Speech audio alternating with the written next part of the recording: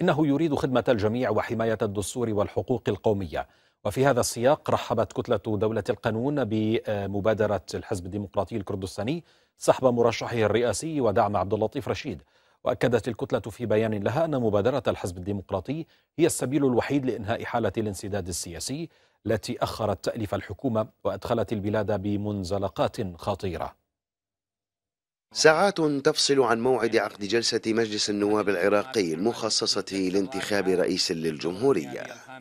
فبعد جولة مفاوضات بين بغداد وأربيل تم التوافق على قرار عقد جلسة مجلس النواب وعلى جدول أعمالها كما تقول المصادر. ولا سيما بعد زيارة وفد ائتلاف إدارة الدولة لأربيل ولقاء رئيس الحزب الديمقراطي الكردستاني مسعود بارزاني قبل أن يلتقي تاليا ببافل طالباني في السليمانية وبغداد. تفيد المعلومات بأن القوى السياسية العراقية توصلت إلى اتفاق على ترشيح عبد اللطيف رشيد رئيسا للجمهورية.